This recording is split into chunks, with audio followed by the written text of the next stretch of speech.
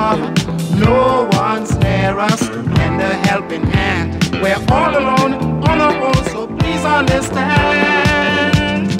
Hold on, baby, try with all your heart. If we make it, a second